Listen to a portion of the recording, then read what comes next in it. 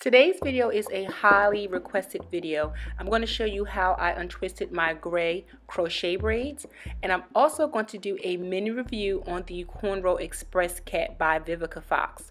So this is what the cornrow cap looks like and I know it looks quite different than what we're used to but I really wanted to try and use this cap to see what the result would be and how it feels to work with this cap.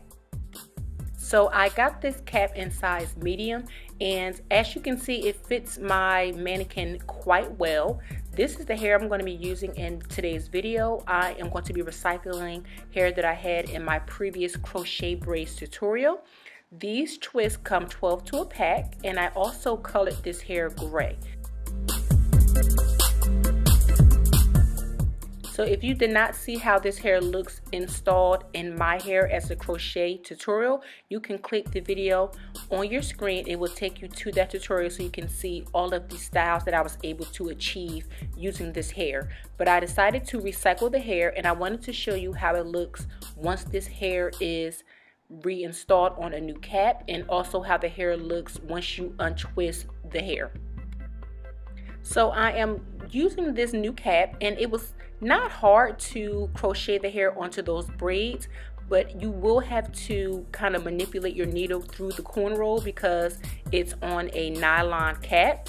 But as you can see the twists are installed pretty well and I didn't have any trouble using this cap to do crochet braids. What I'm doing here is I'm skipping every other braid and I'm installing the hair straight down the middle. Now I do want to give you guys a fair warning I do not suggest sewing or crocheting every cornrow because this cap has a lot of space and you will have to install like 10 to 12 packs in order to cover everything. So what I'm doing here is I'm making sure that I apply crochet braids to the perimeter or the hairline because you don't want to see those cornrows in the front. So I'm going to do that and then I'm going to start to space out the rest of my crochet braids on each side of my cap because I want to make sure that I get maximum coverage.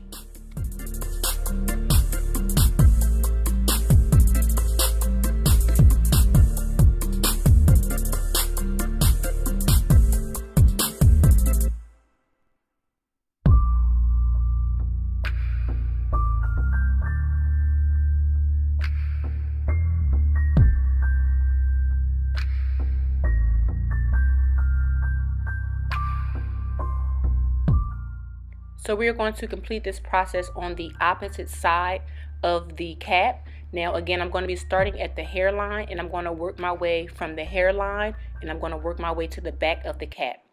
Definitely making sure that I space out the braids because I am going to be unraveling my twist. But I definitely want to give you guys a tip on how to make sure you have enough hair for this cap. So for this hairstyle, I used six packs of hair and I divided it in the following manner. I use three packs on the top of my cap. I use two packs per side and I use one pack in the back. And that was the only way I was able to evenly apply the hair to the cap without seeing a lot of spaces.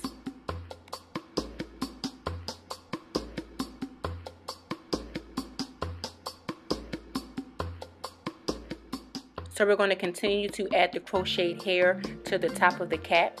And of course, when you get to the top, you want to make sure that you crochet extremely close together because you, again, you don't want to see any braids or spaces in between your twist out.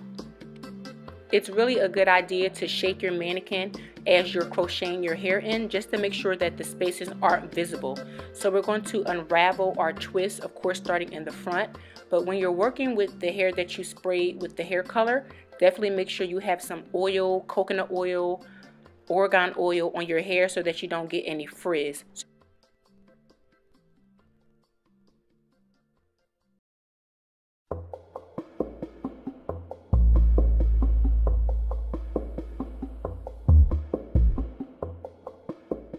So once you separate all of your twists, this is what the hair should look like. So again, I have the wig on. So this is what the color is looking like so far. But I wanted to add a little more spunk to the style. So I decided to add a little more of the color spray. So I decided to add it a little bit closer to the roots on one side because I just wanted to change the style up just a little bit and I wanted to see more of the gray. So I'm just going to apply it closer to the roots and I'm going to let that dry for a couple of minutes. I definitely suggest that you shake your twist as you're spraying to make sure that all of the hair has a even coating of the gray spray.